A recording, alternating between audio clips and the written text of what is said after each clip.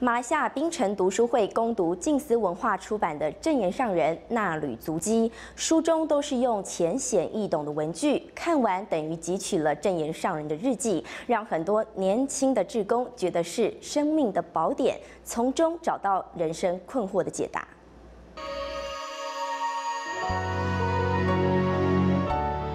纳履足迹丛书分春夏秋冬四季出版，如同正言上人的日记，详述言教、身教、法教。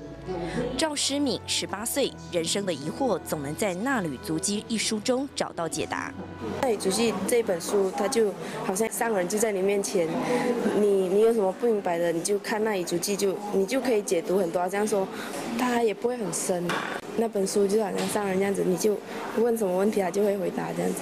马来西亚槟城读书会上全神贯注、勤做笔记的，还有他黄新才。那里主题呢？其实有什么的啊心得在那个？对，我就想把这个概念呢带到我们的社区去。好书分享能改变习气。认识慈济过后，我才知道啊，原来生孩子的我，原来以前是多么不孝。